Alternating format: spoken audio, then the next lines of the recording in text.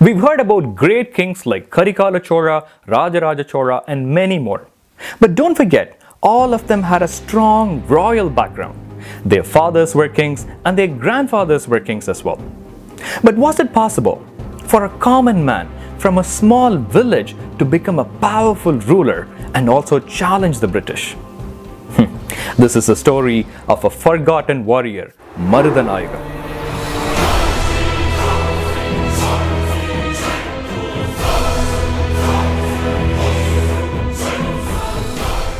Hello everyone, I'm Ungal Anban Hemanth. Today we'll be looking at the forgotten warrior Marudhanayagam. But before we get there, don't forget to subscribe to the channel if you haven't done so yet.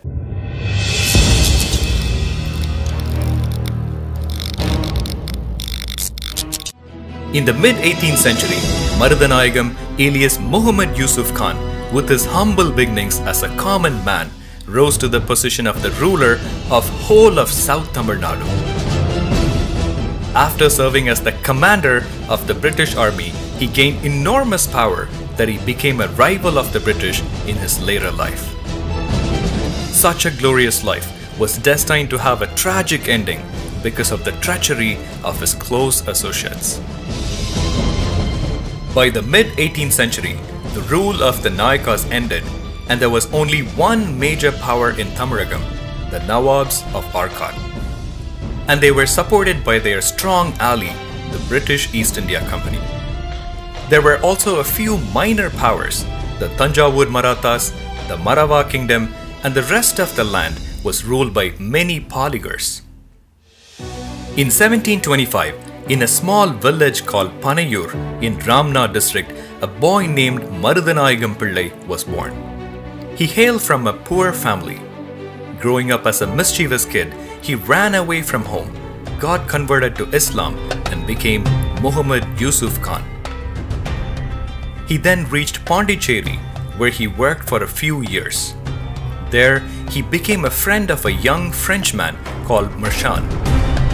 Later in his life, this Frenchman was destined to be the cause of his tragic end.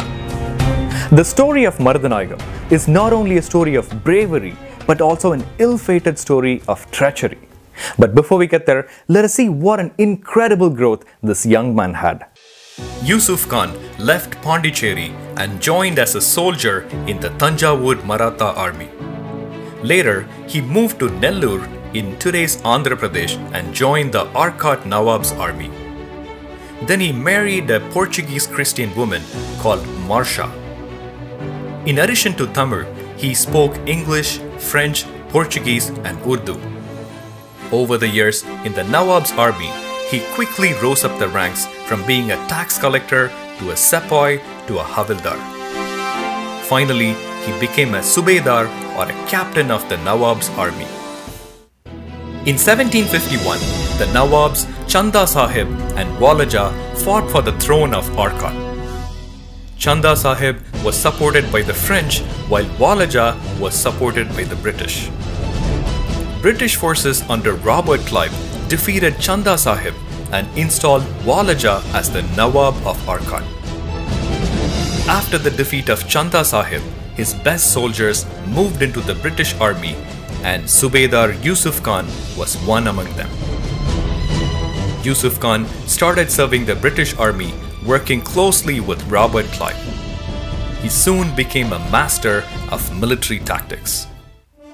In 1755, in recognition of his service, Yusuf was awarded a gold medal by the British and the title Commander in Chief of the Sepoys, the highest title ever held by an Indian serving the British Army. Then on, he was respectfully called by everyone Khan Sahib. After Walaja was installed as the Nawab, he had huge debts to pay back to the British. So he gave them rights to collect taxes on his behalf from the Madurai region. Khan Sahib was sent for the task and he came back victoriously. Later, when the French attacked the British fort St. George in Madras, Yusuf played a crucial role in the victory of the British. Later, in 1759, the British East India Company appointed him as the governor of Madurai and Tirunelveli districts, which included the whole of South Tamil Nadu. During his rule, he repaired the Madurai fort, restored Meenakshi Amman temple, and helped agriculture thrive. The British themselves recognized that there were two great military geniuses that India had ever produced, one being Hyder Ali of Mysore and the other one being Yusuf Khan. It's very unfortunate that we have forgotten Yusuf Khan today. Now, back to the story, he became even more powerful. However, he engaged in a few controversial wars. During a series of wars, he defeated many of the Paligars or the Palayakkaras who rebelled against the Nawab and the British. He killed Alagumuthu Kone and after about three years of effort, he defeated the famous Puli Pulitevar. And then all the Paligars came under his control. Alagumuthu Kone and Puli Thevar. Today, both of these great Paligars are recognized as freedom fighters. So, is it right to celebrate Yusuf Khan who actually defeated them? Above all, is Yusuf Khan a freedom fighter? Don't arrive at an opinion yet because now there is a big twist in the story. Because of Yusuf Khan, the tax revenue for the Nawab and the British increased tremendously. With this, Yusuf Khan grew to be extremely powerful. But this growth was something that the Nawab was not happy about. The Nawab of Arcot was under the Nizam of Hyderabad and even he declared that Yusuf was the rightful legal governor. As Yusuf Khan's reputation grew, the Nawab became jealous and feared that he might overpower him someday. In the meantime, the British also heard rumors that Yusuf was raising a huge army against them. Then the Nawab and the British collectively decided to arrest him. Yusuf Khan rebelled against the Nawab and the British and started gathering a huge army from all over the country, which also included French troops. He broke off allegiance with them and declared himself as an independent ruler of Madurai and Tirunelveli.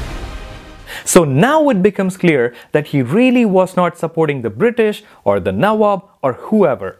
Since the time he became the governor of Madurai, he wanted to become an independent ruler and he finally achieved that.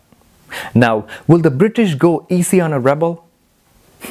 they wanted to finish him off.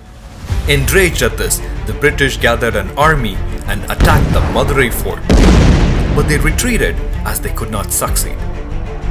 After a year, they came back again with a bigger army surrounding the fort. But this time, they cut off all the food and water supplies to the fort. Many people in Madurai starved but continued to hold on courageously. Even after many months of effort, the British could not succeed. They realized that Yusuf Khan cannot be defeated by force, so they resorted to treachery. They bribed his close associates who were inside the fort with them his old friend from Pondicherry, the French commander Marchand, and his Diwan Srinivasa Rao. On a fateful day, while Yusuf Khan was offering his prayers at his palace, the conspirators bound him and secretly handed him over to the British. The next day, near the British Army's camp at Sammattipuram near Madurai, Yusuf Khan was hanged to death, leaving his wife his two year old son and his people in misery. And that was the end of the courageous soul and his magnificent life. The hardness of his character, his bravery, and overall the story of this forgotten hero needs to be remembered forever.